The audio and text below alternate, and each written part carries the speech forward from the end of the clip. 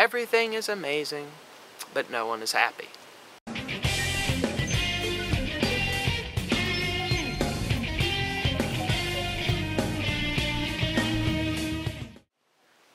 Look around you. Look all around you. You watching this video are doing it on a computer. Holy crap, that's a computer. Look at what that thing can do. It's hooked to the internet. Look at the internet. Holy crap, that thing is there and it's huge and it's filled with everything. We built that out of stuff we dug out of the ground. We built a computer box and the internet out of some crap we dug out of the ground.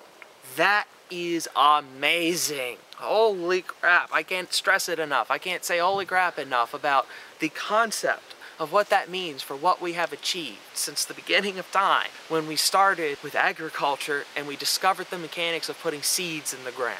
And now look at us. Look all around you and what that has led to. Isn't it glorious? Amazing? Perhaps awe-inspiring even, or ineffable in the feelings that it could invoke. But we can move beyond technology and see the natural world around us that complements our own accomplishments. Look behind me. This is nature. This is life around me. And it coexists with our scientific marvels. Not half a mile down the road is civilization. All around me, it is yet wild and wilderness coexisting. Beauty in two different forms. Isn't life amazing? And that's my point everything is amazing around us, but so many people are so unhappy with the world. And this is not a denial of the problems we face in this world. It is not at all, because I understand and have made many videos about the problems we have in this world. We just need to realize that we can fight the problems without being so miserable. We can look around us and take the beauty that is while we fight for the beauty that could be. There is no reason to be miserable in this world.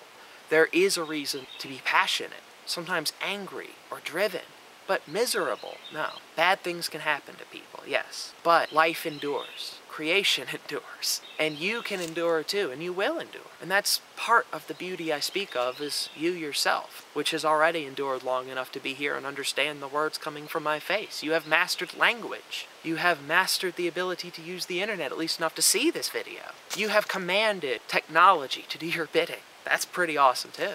So this is a general plea for you to take a step back and look at everything that makes life so amazing and so wonderful in every conceivable way, no matter how bad things look around you. This is also around you. So is the computer you get on. So is the technology and the life we have created all around us, intermeshed with this world that we have. There is always beauty to appreciate. You don't have to be unhappy with the world around you. Just find the things that can make you happy. Just something to think about.